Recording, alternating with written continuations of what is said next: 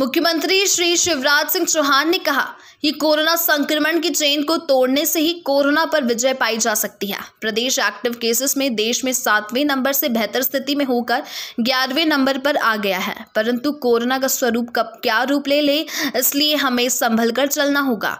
मुख्यमंत्री श्री शिवराज सिंह चौहान कोरोना नियंत्रण के संबंध में आज कोविड प्रभारी मंत्रियों, कमिश्नर, कलेक्टर्स, पुलिस महानिरीक्षक पुलिस अधीक्षक एवं ज़िले में क्राइसिस मैनेजमेंट ग्रुप के सदस्यों से वर्चुअली चर्चा कर रहे थे। कोरोना नियंत्रण के लिए सतना ज़िले के प्रभारी मंत्री श्री राम खिलावन पटेल, कलेक्ट्रेट सतना के एनआईसी कक्ष से मुख्यमंत्री की वीडियो कॉन्फ्रेंसिंग में शामिल हुए।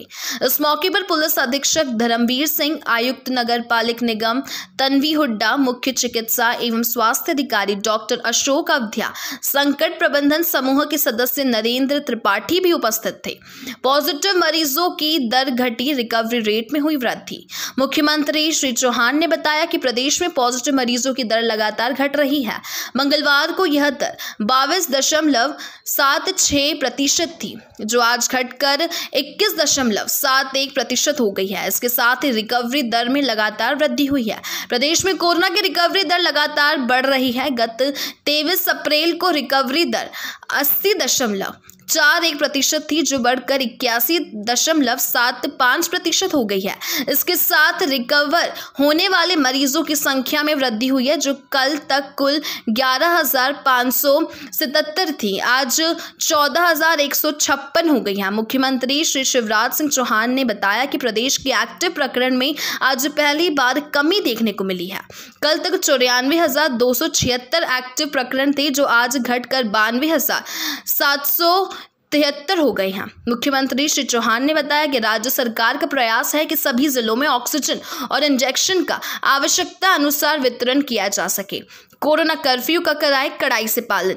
मुख्यमंत्री शिवराज सिंह चौहान ने प्रभारी अधिकारियों से कहा कि संक्रमण की चेन को तोड़ने में सबसे ज़्यादा कारगर उपाय कोरोना कर्फ्यू है। जनता को प्रेरित कर इसका कड़ाई से पालन सुनिश्चित करें। जनता कर्फ्यू कोई लॉकडाउन नहीं है। जनता द्वारा स्वयं संक्रमण से सुरक्षा के लिए लिया गया निर्णय है। उन्होंने कहा कि मुझे खुशी है। प्रदेश के लगभग नब्बे प्रतिशत ग्राम पंचायतें अपने गाँवों में कोरोना कर्फ्यू लगाने का स्वयं संकल्प ले चुकी है। कुल कोरोना कोरोना टू अभियान को दे प्राथमिकता। मुख्यमंत्री श्री शिवराज सिंह चौहान ने कहा कि ज़िले के जिन क्षेत्रों में संक्रमण दर अधिक है, वहाँ किल कोरोना अभियान दो चलाया जा रहा है। उन्होंने कहा कि संक्रमण प्रभावित क्षेत्रों में माइक्रो कंटेनमेंट क्षेत्र घोषित कर संक्रमण को वहीं रोक दे। सर्वे में संभावित मरीजों को तत्काल मेडिकल किट एवं सावधानी संबंधी ब्रोशर उपलब्ध करवाकर होम आइसोलेट कराएँ। होम आइसोलेशन एवं कोविड सेंटर्स हो सक्रिय। आज तक उन सत्तर हज़ार मरीज़ होम आइसोलेटेड है। प्रयास यह होना चाहिए कि मरीजों को अस्पताल ले जाने की ज़रूरत नहीं पड़े। मुख्यमंत्री श्री शिवराज सिंह चौहान ने कहा कि रेमडेसिविर इंजेक्शन के उपयोग के लिए निर्धारित प्रोटोकॉल का पालन कराएँ अनावश्यक रूप से इंजेक्शन की मांग पर अंकुश लगाएँ। इंजेक्शन उसे मिले जिसे ज़रूरत हो और उतनी जितनी आवश्यकता हो। सप्लाई एवं वितरण की अनावश्यक प्रतिस्पर्धा की प्रवृत्ति ज़िले नहीं रखे। जितनी आवश्यकता हो, उतना ही मांग रखें।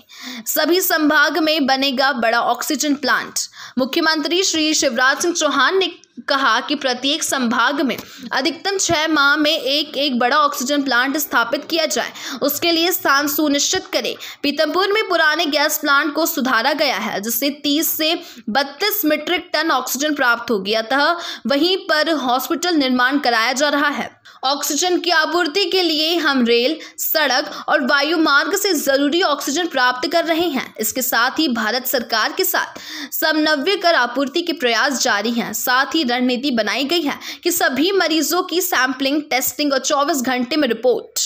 होम आइसोलेशन की नियमित मॉनिटरिंग, कोविड केयर सेंटर की स्थापना और संचालन, अस्पतालों में बेड्स, ऑक्सीजन इंजेक्शन और दवाओं की पर्याप्त उपलब्धता, अधिक से अधिक लोगों का कोविड टीकाकरण।